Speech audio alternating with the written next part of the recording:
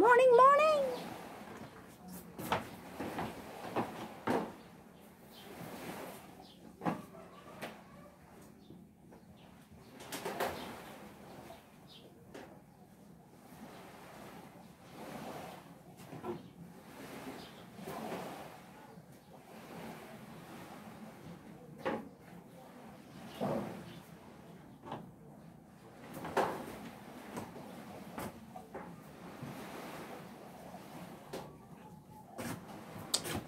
Let's make our dragon fruit juice. Ang gawa tayong dragon fruit juice, guys.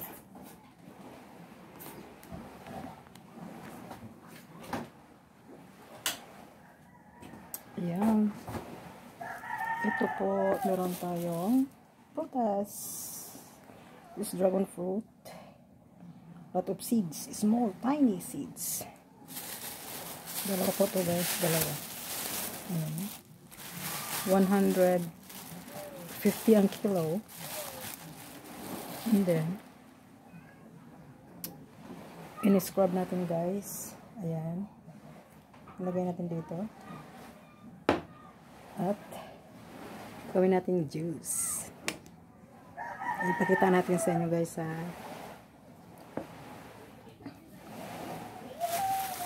kung ano ang gagawin natin. Ayan po. Ayan. Ang ating product. Ang ating taas natin na konti. Okay. And then, we have the marang.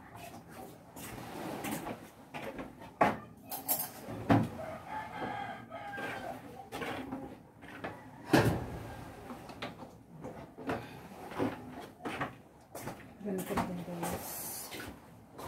This is good for our health. Dito po natin isasalang. Ayan ang ating imboro. Ito natin yung isasalang.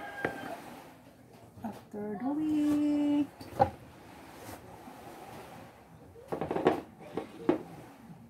Ayan.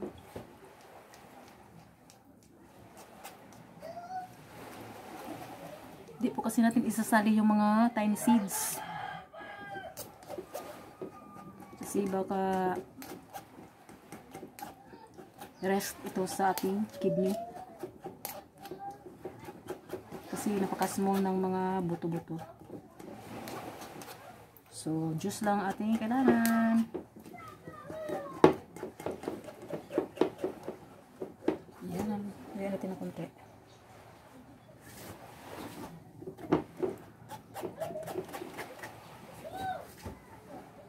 Kailangan, kailangan po yata natin yung dito. Ano naman?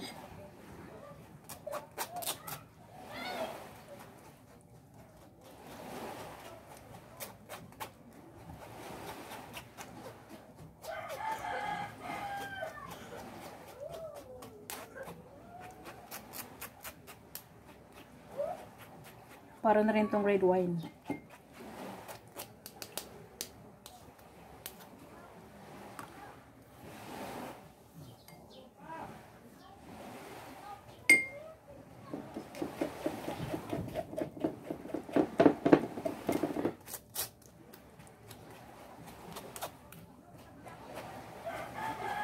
Grabe guys, nakakapuno pala ng ano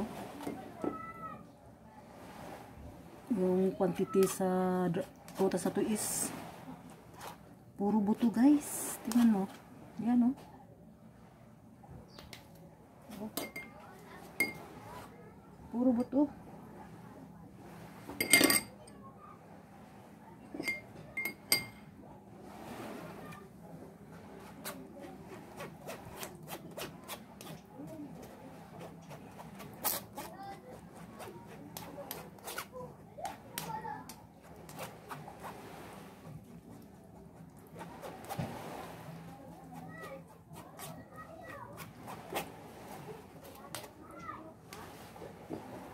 I-wash natin guys.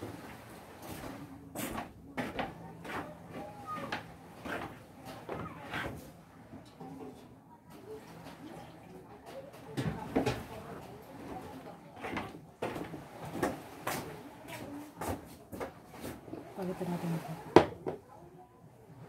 At Dito natin. Ayan.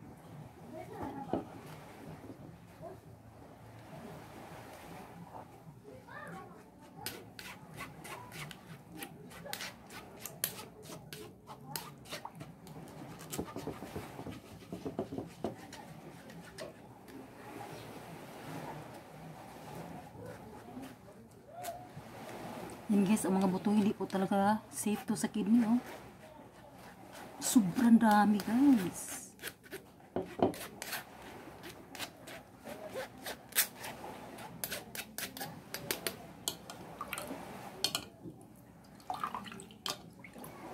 Yan niyo po yung water. Pwede na rin siguro ito gawing ano, no? Food coloring.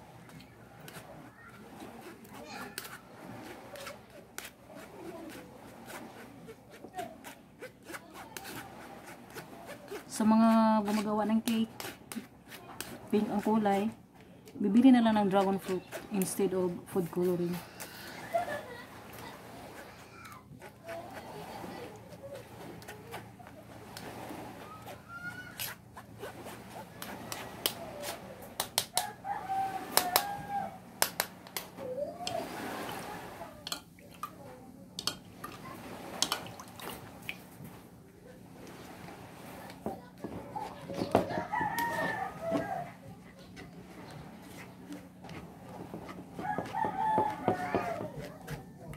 mas safe ito guys kisa i-blend kasi pag i-blend mo to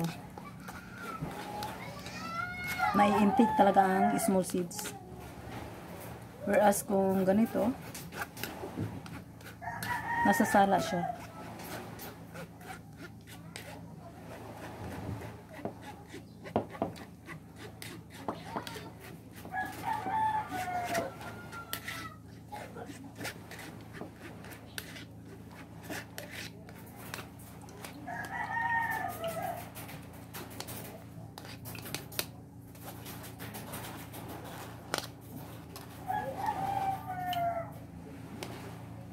dito sa baso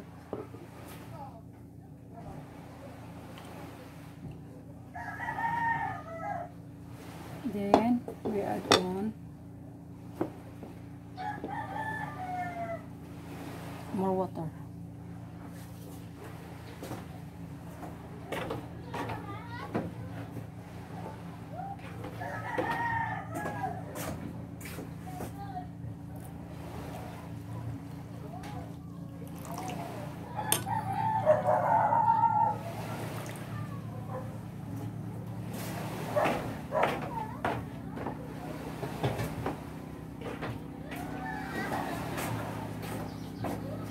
matabang siya guys we do need to add sugar. Kaya natin dagdagan ng sugar guys. Ganito lang inumin natin matabang. Plain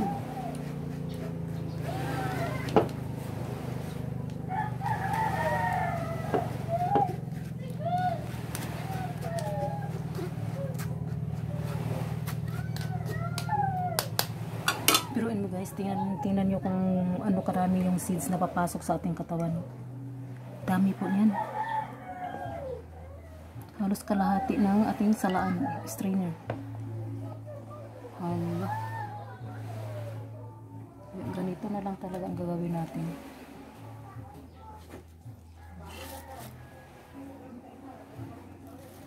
Yan. Everyday natin gawin to.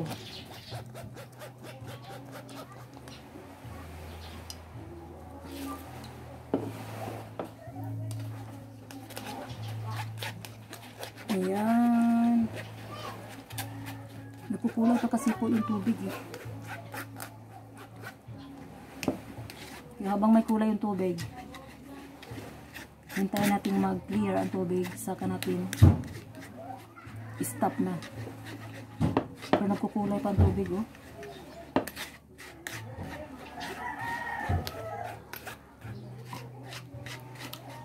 Yan, maglalagay na tayo sa ating container. Ito.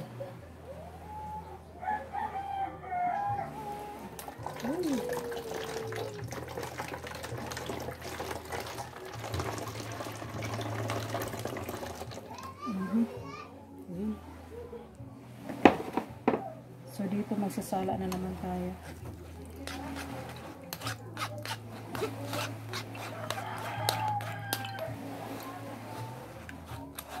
Ayan.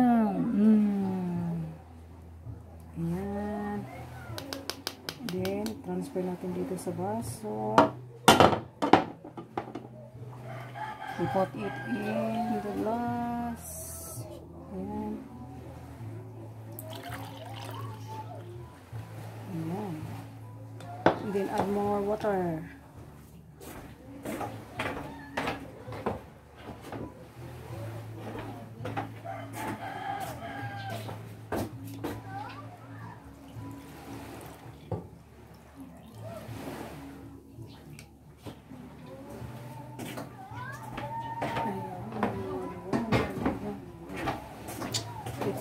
Mabisa nating pampapula sa ating blood. Ayan. Wala na. Ubus na yung kulay niya. Nahugasan na siya. So, enough na tayo dito. Clear up na yung water. Tama na. Ayan. Hmm. Dito na lang to.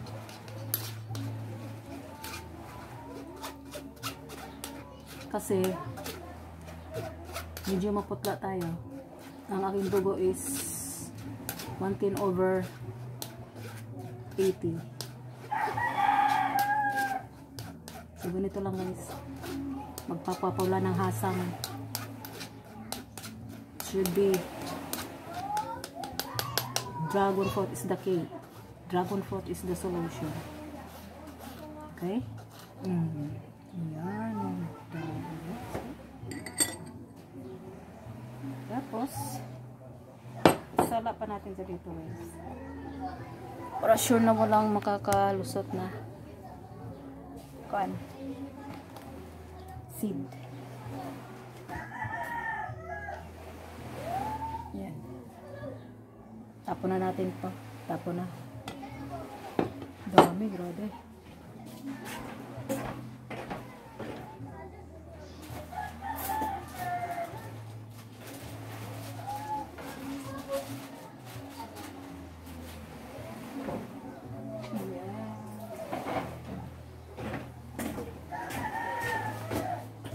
Subukan natin yung seeds ko mag tubo. May pa isa-isa po kasing seed na ano, nakaka-escape sa ating strainer. So, yan. Hmm.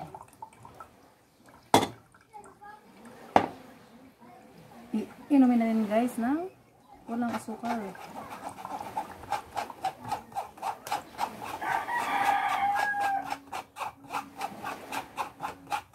Meron siyang ano oh. Texture. Solid. May solid oh.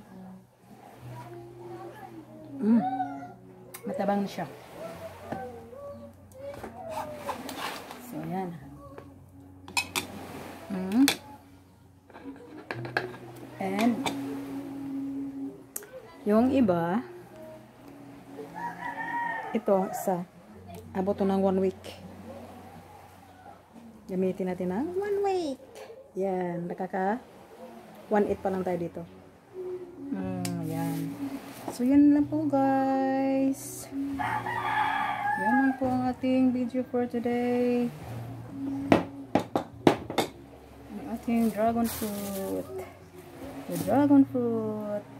Ayan po. Ayan. So, end tayo dito ng ating video. Ayan. Ayan po, ayan. Ayan. Ganyan na lang natin. Ayan. Dragon fruit. Okay. Thank you guys for watching. Ayan po ating dragon fruit. Ayan, bawas ang isa. Okay, thank you.